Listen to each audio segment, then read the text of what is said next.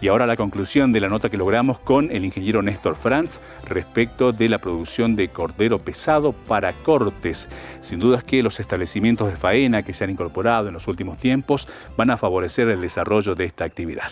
Desde ya felicitaciones a, los que emprendieron esa actividad en los valles cachaquíes y lo que pedimos es también que el productor eh, aproveche esas instalaciones, que las use, que las utilice, que haya una fidelización entre el productor y la industria, que hagan buenos arreglos económicos, que, que los dos le, beneficie tanto el productor como el frigorífico y que no uno eh, avance en el negocio sobre el otro, ¿no es cierto? Que se llegue a un precio justo y que todos saquen su porcentaje de ganancia en la cadena. Porque si no, los frigoríficos después los productores mismos no van, no lo usan eh, o buscan una faena bajo el árbol, digamos, y el objetivo es que, todos los animales vayan al frigorífico porque eso nos garantiza la calidad, la inocuidad de la carne, eh, o sea, un producto bien presentado con inspección veterinaria y que la gente que lo consuma lo consuma con total tranquilidad, que no tiene ningún problema desde el punto de vista sanitario y, por ende la carne ovina es una carne de excelente calidad biológica, o sea, tiene, son proteínas rojas de alta calidad. Eh, que dentro de las otras tres eh, carnes, eh, comparándola con, el, con, la vaca, la oveja es más próxima a la vaca que las otras carnes, ¿no?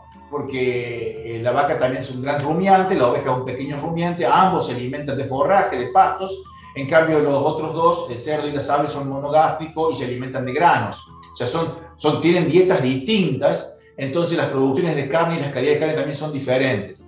Por eso es bueno que se incorpore el ovino eh, también a, este tipo de, disponibilidad de, carne para hacer una dieta más variada en el consumidor argentino. Entonces es fundamental que los frigoríficos trabajen y que articulen con los productores y que a su vez también ellos puedan avanzar en lo que se llama un ciclo 2, a donde se harían los cortes, ¿no? Y después se puede envasar al vacío, ahí después se sigue la cadena de frío y la distribución de los productos, ya sea a carnicerías, a restaurantes, a hoteles, o a los mismos supermercados, ¿no? E, esa es la cadena, así se arma una cadena. Bueno, ojalá que este sea el puntapié inicial, el hecho de haber inaugurado un, frigorífico hace poco tiempo y que también haya otros para que la alternativa se transforme en viable en nuestra zona, sobre todo teniendo en cuenta la relación costo-beneficio.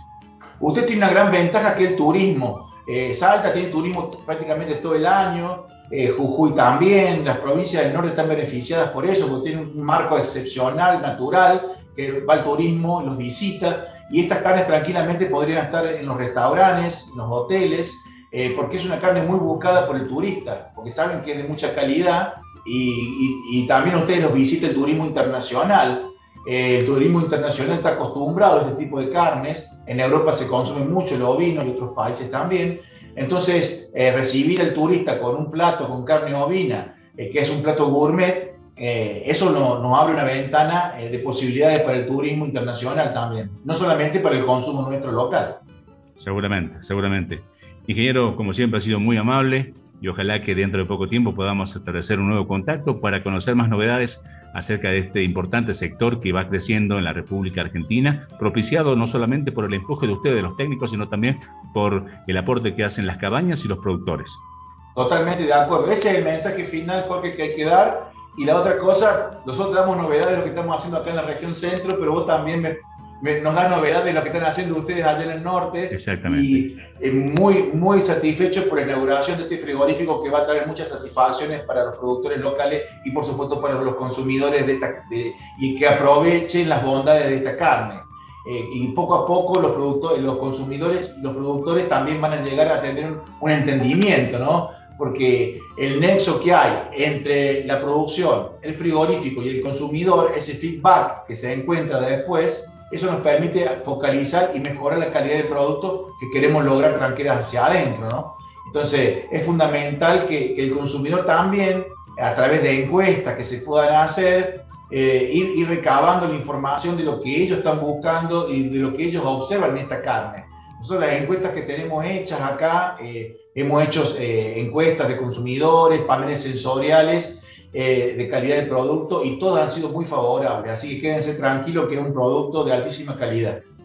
Y no nos olvidemos que no hace muchas décadas pasó algo similar con el pollo y hoy veamos el consumo que tiene el pollo en Argentina, ¿no?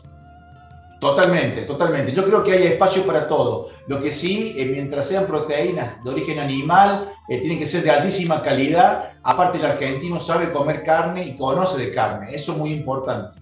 Así que bueno, esperemos que tengamos un espacio, sobre todo complementar a la carne vacuna, que si podemos posibilitar la exportación de carne, porque sabemos que la carne vacuna es la, es la mejor vista en el mundo y la que mejor chance tiene de, que la exportemos y consigamos buenos precios, también nosotros aportar con la carne bovina un porcentaje de la cuota dentro del país. Eh, para tratar de que el consumidor no presione tanto sobre la carne vacuna y pueda eh, también comer otras carnes y ese porcentaje se puede exportar. Acuérdense que siempre la exportación para la Argentina es bienvenida porque necesitamos que nos ingresen divisas y es muy importante para la Argentina y es lo que sabemos hacer. Tenemos que ser un país exportador. Así que Jorge, muchísimas gracias por tu entrevista y un saludo a la gran audiencia que tenés en tu programa y yo sé que sos un, un periodista muy escuchado por tu audiencia.